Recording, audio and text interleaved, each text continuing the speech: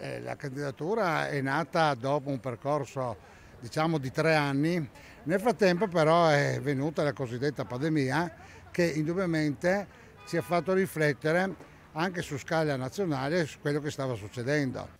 Terzo candidato sindaco dopo Cisinte Morsolin per la sfida elettorale del 12 giugno a Monfalcone, Francesco Orlando è sostenuto dalla civica Vela, Verità e Libertà e dal movimento Territorio e Libertà che raccolgono il dissenso nella gestione della pandemia dell'area Novax No Green Pass e hanno il supporto degli ex leghisti cittadini in rotta con il sindaco in carica.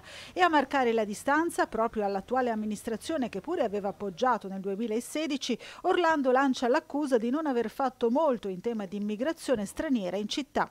Ci sono le parole per i cani, giustamente, ma per gli immigrati non c'è una parola. No? Certamente avrà fatto qualcosa, però mi sembra importante far capire che questi sono persone che hanno bisogno di servizi e hanno soprattutto bisogno di imparare quello che è nella nostra cultura e quindi insegnare prima di tutto. Orlando vanta un'esperienza trentennale nella politica monfalconese e tra le priorità indica la rivitalizzazione del centro cittadino. Vorremmo fare un piano di viabilità nuovo un piano del traffico con un piano della sosta. Faccio solo un esempio. I centri commerciali hanno i parcheggi gratuiti, perché non possiamo fare i parcheggi gratuiti in centro, almeno le prime due ore, in modo che la gente possa venire in centro a fare la spesa con due ore di tranquillità per poter fare del centro di Monfalcone il vero centro commerciale della città.